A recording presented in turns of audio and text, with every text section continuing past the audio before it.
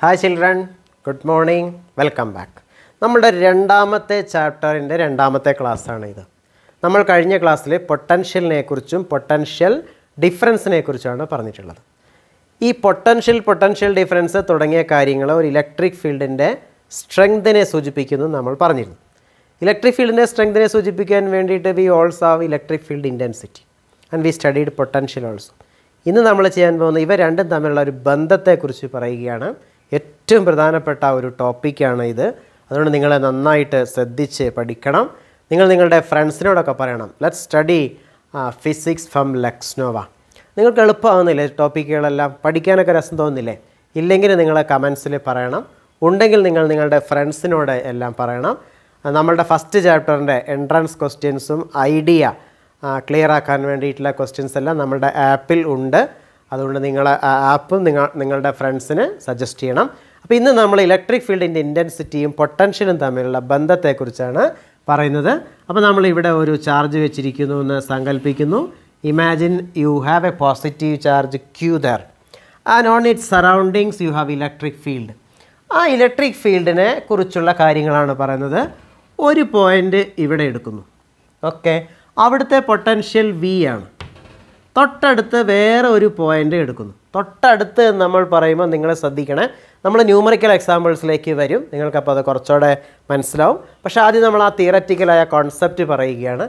അപ്പോൾ ഇവിടെ വി ആണ്. ഇത് ഉദാഹരണത്തിന് എ എന്ന point so it is V A here ഇത് ബി എന്ന പോയിന്റ് അവിടെ കുറച്ച് പൊട്ടൻഷ്യൽ കൂടുതലുണ്ടാവും. അപ്പോൾ V A plus d V എന്ന് നമ്മൾ എടുക്കുകയാണ്. അപ്പോൾ ഇവിടുത്തെ പൊട്ടൻഷ്യൽ എന്താണ്? V A plus d V d V എന്ന് പറയുന്ന ചെറിയൊരു പൊട്ടൻഷ്യൽ കൂടിയിട്ടുണ്ട്. അപ്പോൾ ഈ ദൂരം ഈ രണ്ട് പോയിന്റുകൾ തമ്മിലുള്ള ദൂരം ഡി എൽ എന്ന് നമ്മൾ എടുക്കുകയാണ്. ഇത്രയും കാര്യങ്ങൾ നിങ്ങൾ നിങ്ങളുടെ ബുക്കിലേക്ക് എഴുതി വെച്ച് മനസ്സിലാക്കണം. നമ്മളൊരു പുതിയ ആശയത്തിലേക്ക് പോവുകയാണ്. അപ്പോൾ ഇവിടെ നിന്ന് ഇവിടേക്ക് ഒരു പ്ലസ് വൺ കുളം ചാർജിനെ കൊണ്ടുവരുമ്പോൾ ചെയ്യേണ്ട വർക്കാണ് ആ സ്ഥലത്തെ പൊട്ടൻഷ്യൽ ഡിഫറൻസ് എന്ന് നിങ്ങൾക്ക് അറിയാം. ആ പൊട്ടൻഷ്യൽ ഡിഫറൻസ് അപ്പോൾ സ്വാഭാവികമായിട്ടും ഡി വി എന്ന കാര്യമാണ്. ആ ഡി വി ഞാൻ ഇനി വേറൊരു രീതിയിൽ കണ്ടെത്താൻ പോവുകയാണ്. നിങ്ങൾ ശ്രദ്ധിക്കണം. ഇവിടെയുള്ള ഈ പോയിന്റിലുള്ള ഇലക്ട്രിക് ഫീൽഡ് ഇ ആണെന്നിരിക്കട്ടെ. അവിടെ ഒരു പ്രശ്നമുണ്ട്. ഈ ഇലക്ട്രിക് ഫീൽഡ് ഈ ഓരോ പോയിന്റിലും വ്യത്യാസമുണ്ടാവും അല്ലേ? അപ്പോൾ ഏത് പോയിന്റിലെ ഇലക്ട്രിക് ഫീൽഡാണ് ഈ ഇ എന്ന് നിങ്ങൾ ചോദിച്ചാൽ എനിക്ക് എന്താ പറയാനുള്ളതെന്നറിയോ? Distance d l is so small that the points are so close that the electric field is almost constant between A and B എക്കും ബിക്കും ഇടയിൽ ഒരു കോൺസ്റ്റന്റ് ഇലക്ട്രിക് ഫീൽഡാണെന്ന് സങ്കല്പിക്കുക സാധാരണഗതിയിലായി ഈ വ്യത്യാസമുണ്ടാവും. പക്ഷേ ഇവിടെ വ്യത്യാസം ഇല്ല എന്ന് നമ്മൾ പറയാൻ കാരണം എന്താണ്? We imagine the points to be very close അപ്പോൾ ഇവിടുത്തെ ഇലക്ട്രിക് ഫീൽഡിന്റെ ഇന്റൻസിറ്റി ഇ ആണെന്ന് പറഞ്ഞാൽ നമ്മൾ മനസ്സിലാക്കുന്നത് എന്താണ്? പ്ലസ് വൺ കുളവും ചാർജ് ഇവിടെ വെച്ചാൽ അങ്ങോട്ട് ഈ ഡയറക്ഷനിലേക്ക് ഈ എന്ന ഫോഴ്സ് ഉണ്ടാകുമെന്നാണ് അർത്ഥം. അപ്പോൾ നിങ്ങൾ ഇവിടുന്ന് പ്ലസ് വൺ കുളവും ചാർജിനെ ഇങ്ങോട്ട് കൊണ്ടുവരുമ്പോൾ ചെയ്യുന്ന വർക്ക് ഫോഴ്സിന്റെ ഡിസ്പ്ലേസ്മെന്റ് എന്ന് കണ്ടുപിടിക്കുക അല്ലേ? അപ്പോൾ നിങ്ങൾ കൊടുക്കുന്ന ഫോഴ്സിന്റെ അളവ് മൈനസ് ഇ ആയിരിക്കും. Why I am keeping a minus sign over here നിങ്ങൾ ഇലക്ട്രിക് ഫീൽഡ് ഇന്റൻസിറ്റി ഇ ആണെങ്കിൽ നിങ്ങൾ അതിന്റെ ഓപ്പോസിറ്റ് ഡയറക്ഷനിലാണ് ഫോഴ്സ് കൊടുക്കേണ്ടത്. സോ ഫോഴ്സിന്റെ അളവ് മൈനസ് ഇ ആയിരിക്കും. നിങ്ങൾ മൂവ് ചെയ്യുന്നത് ഡി എൽ എന്ന ഡിസ്റ്റൻസിലാണ് അപ്പോൾ നിങ്ങൾക്ക് നിങ്ങൾ ചെയ്യുന്ന work E into d l എന്ന് കണ്ടെത്താം. അത് ഡി വി ആണല്ലോ. അങ്ങനെയാണെങ്കിൽ ഇലക്ട്രിക് ഫീൽഡ് ഇന്റൻസിറ്റിയുടെ ഇക്വേഷൻ നിങ്ങൾക്ക് E is equal to minus d V by d l എന്ന് എഴുതാം. ഇത് വളരെ പ്രധാനപ്പെട്ട ഒരു ഇക്വേഷനാണ് നിങ്ങൾ നന്നായിട്ട് അത് മനസ്സിലാക്കണം. We will spend some more time on this you will definitely understand this അപ്പോൾ ആ ഇക്വേഷൻ പഠിക്കുക. എന്താണെന്നറിയാം ഇക്വേഷൻ കേൾക്കണം. E is equal to minus d V by d l എന്നാണ്. ഡി വി എന്ന് പറഞ്ഞാൽ പൊട്ടൻഷ്യൽ ഡിഫറൻസ് ആണ്. ഡി എൽ എന്ന് പറഞ്ഞാൽ ചെറിയ ദൂരമാണെന്നാണ് നമ്മൾ പറഞ്ഞത്. അപ്പോൾ ചെറിയ ദൂരത്തിൽ പൊട്ടൻഷ്യലിനുണ്ടാകുന്ന വ്യത്യാസം എന്നതാണ് ഇവിടുത്തെ ആശയം. ആ ചെറിയ ദൂരത്തിൽ പൊട്ടൻഷ്യൽ ഉണ്ടാകുന്ന വ്യത്യാസത്തെ നമ്മൾ പൊട്ടൻഷ്യൽ ഗ്രേഡിയന്റ് എന്നാണ് പറയുക എന്താണ്? Potential gradient so usually d V by d l is called potential gradient അപ്പോൾ electric field how is it related to electric potential എന്ന ചോദ്യത്തിന് നമ്മൾ എങ്ങനെ ഉത്തരം പറയാമെന്നറിയാം? എഴുതിക്കോ.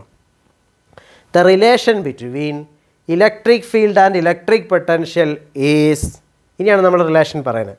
Electric field is the negative of potential gradient electric field is the negative of potential gradient ആശയം മനസ്സിലായോ?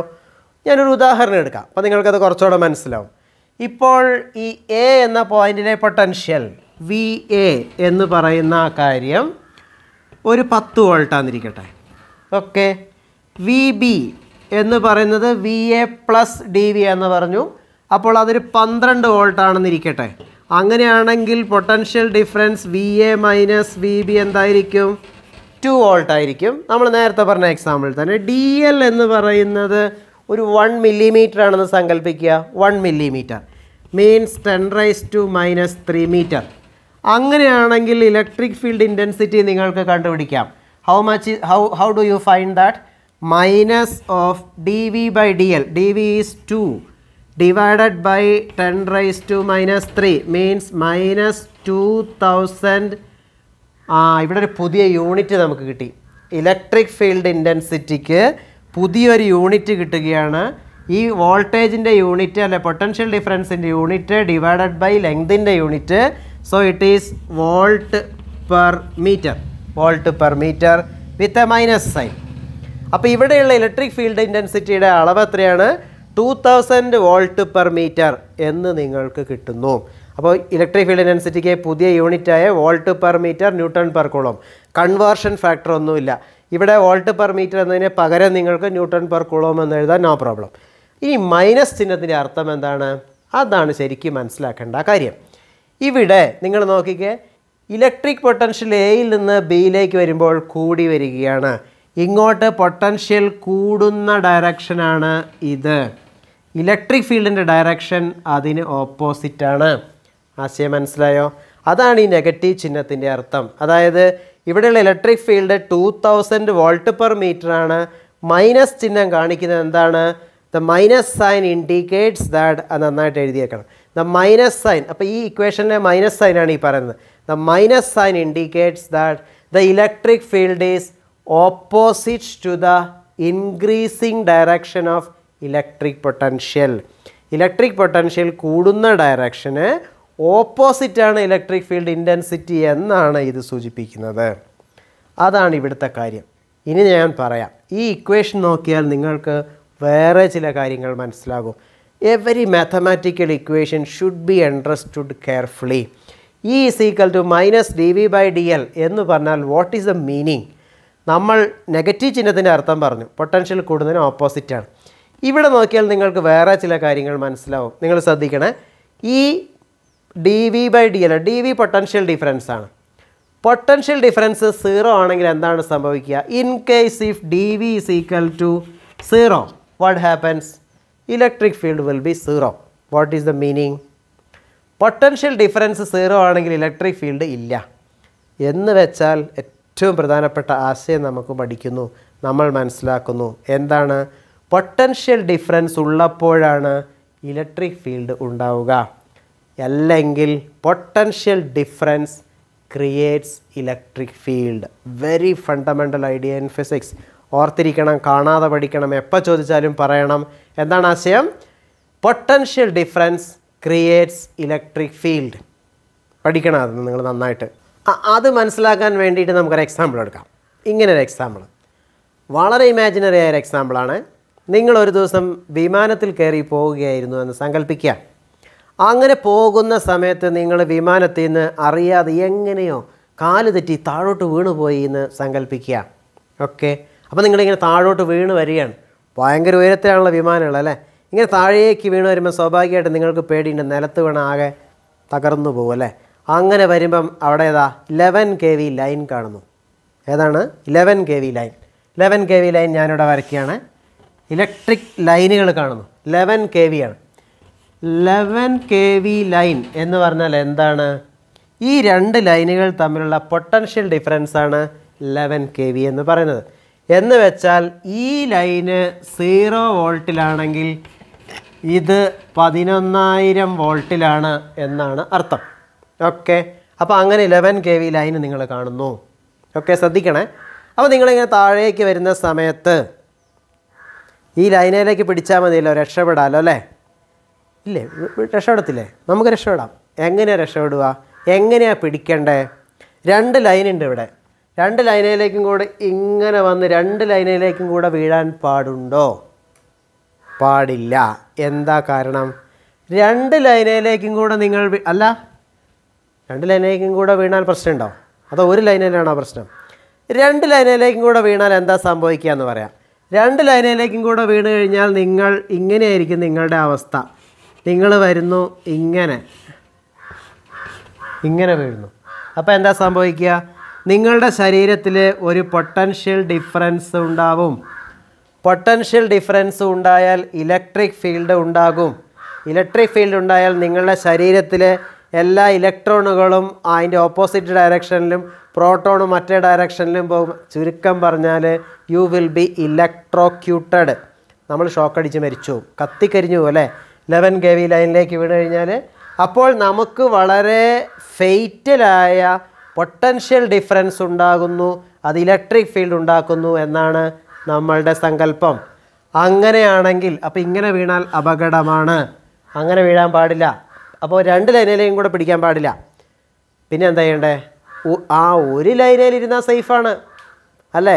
ഒരു ലൈനയിൽ ഇരുന്നാൽ സേഫാണ്. നമ്മൾ കറണ്ട് കമ്പിയിലൊക്കെ കാക്കകളും പക്ഷികളൊക്കെ വന്നിരിക്കുന്നത് നമ്മൾ കണ്ടിട്ടില്ലേ? അപ്പോൾ ഏത് ലൈനിലായിരിക്കുക സീറോയിലിരിക്കണോ ലെവൻ തൗസൻഡിലിരിക്കണോ ആ അത് നമ്മൾ നേരത്തെ പറഞ്ഞു. അതൊരു ഇമാജിനേഷനാണ് ഡിഫറൻസ് ആണ് മെഷറബിൾ ഫീലബിൾ ക്വാണ്ടിറ്റി റിയലായ ക്വാണ്ടിറ്റി ഇവിടെ സീറോയാണോ ലെവൻ തൗസൻഡിലാണോ നിങ്ങൾക്ക് പ്രാക്ടിക്കലായിട്ട് മനസ്സിലാവില്ല. നിങ്ങൾക്ക് ഏത് ഒരെണ്ണത്തിൽ പഠിച്ചാലും നിങ്ങൾ സേഫാണ് മനസ്സിലായോ? Potential is safe however large it is but potential difference is unsafe because it creates electric field അപ്പോൾ ആ ഫണ്ടമെന്റൽ ആശയം നിങ്ങൾ ഓർത്തിരിക്കണം. Potential difference creates electric field ഒരിക്കലും ഒരു ബസ് ബസ് മഴക്കാലത്തെ ഒരു ബസ് സ്റ്റോപ്പിൽ ബസ് നിർത്തിയപ്പോൾ അതിനകത്തേക്ക് കരണ്ട് കമ്പി പൊട്ടി വീണു. കരണ്ട് കമ്പി അതിന്റെ മേലേക്ക് പൊട്ടി വീണ് കഴിഞ്ഞപ്പം അകത്തിരിക്കുന്ന ആളുകൾക്കെല്ലാം മനസ്സിലായി കരണ്ട് കമ്പി പൊട്ടി വീണു എന്ന കാര്യം. അപ്പം ബസ്സിന്റെ ബസ്സിന്റെ ബോഡി കംപ്ലീറ്റ് ഈ കരണ്ട് കമ്പി ഇപ്പോൾ ടു തേർട്ടി വോൾട്ടിന്റെ ലൈനാണെങ്കിൽ ആ പൊട്ടൻഷ്യലിലേക്ക് റൈസ് ചെയ്യപ്പെടും എന്നാണ് നമ്മൾ പറയുക. ബസ്സിന്റെ ബോഡി കംപ്ലീറ്റ് ടു തേർട്ടി വോൾട്ടിലേക്കായി. ആ ബസ്സിൽ നിന്ന് നിങ്ങൾ ഇറങ്ങാൻ പാടുണ്ടോ എന്ന് ചോദിച്ചാൽ ഇപ്പോൾ നിങ്ങളുടെ ശരീരം ടു തേർട്ടി വോൾട്ടിലുള്ള ടു തേർട്ടി ലൈൻ വോൾട്ട് ലൈനാണ് വീണിട്ടുള്ളതെങ്കിൽ ഇവിടെ നമ്മൾ പറഞ്ഞ പോലെ തന്നെ അപ്പോൾ നമ്മുടെ ശരീരം മൊത്തം ടു തേർട്ടി വോൾട്ടിലേക്കായി. ആർക്കും അത് മനസ്സിലാവില്ല. എന്നാൽ നിങ്ങൾക്ക് ഹൈ പൊട്ടൻഷ്യലാണ് നിങ്ങളുടെ ബോഡി ഉള്ളത്. പക്ഷേ നിങ്ങൾ പൊട്ടൻഷ്യൽ ഡിഫറൻസ് ഉണ്ടാക്കിയാൽ പ്രശ്നമാണ്. അപ്പോൾ നിങ്ങൾ ബസ്സിൽ നിന്ന് വന്നിട്ട് പുറത്തേക്ക് ഇറങ്ങുന്ന സമയത്ത് ഒരു കാൽ ബസ്സിലും ഒരു കാൽ നിലത്തും വെച്ച് ആ വരുന്ന സമയത്ത് നിങ്ങൾക്ക് ഷോക്ക് അടിക്കും. ആശയം മനസ്സിലായോ? പൊട്ടൻഷ്യൽ ഡിഫറൻസ് ഉണ്ടാകും. ബസ്സിൽ two thirty volt എർത്തിൽ zero volt potential difference two thirty volt electric field ഉണ്ടാകുന്നു യു വിൽ ബി ഇലക്ട്രോക്യൂട്ടഡ് അപ്പോൾ നിങ്ങൾ എങ്ങനെയായിരിക്കും ചാടേണ്ടത്? അല്ല എങ്ങനെയായിരിക്കും ഇറങ്ങേണ്ടത്? ബസ്സിൽ നിൽക്കുന്നു ടു തേർട്ടി വോൾട്ട് ഗ്രൗണ്ടിൽ നിൽക്കുന്നു സീറോ വോൾട്ട് പക്ഷേ ബസ്സിന്റെ അടുത്ത് അങ്ങനെ സീറോ വോൾട്ട് ആവണമെന്നില്ല. ഹയർ പൊട്ടൻഷ്യൽ വരാം എന്നൊരു കാര്യമുണ്ട്. നമ്മൾ അതിനെക്കുറിച്ച് പിന്നീട് പറയാം. എന്താണെങ്കിലും ബസ്സിൽ ടു തേർട്ടി വോൾട്ടുള്ള ബസ്സിൽ നിന്ന് നിങ്ങൾ ചാടി ഇറങ്ങണം ഗ്രൗണ്ടിലേക്ക്.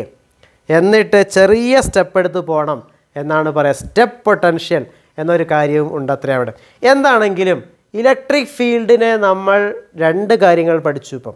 Electric field intensity potential potential difference ഈ ആശയവും ഈ ന്യൂമറിക്കൽ എക്സാമ്പിളും നിങ്ങൾ നന്നായി പഠിക്കണം. ഇനി നമുക്ക് ഓരോ സംവിധാനങ്ങൾ ഉണ്ടാക്കുന്ന ഇലക്ട്രിക് പൊട്ടൻഷ്യലിന്റെ കാൽക്കുലേഷനാണ് അത് നമ്മൾ അടുത്ത വീഡിയോയിൽ ചെയ്യാം. അപ്പോൾ ഇതൊരു ചെറിയ വീഡിയോ ആയിരുന്നു. ഈ ആശയങ്ങളിൽ നിന്ന് നന്നായി മനസ്സിലാക്കുക.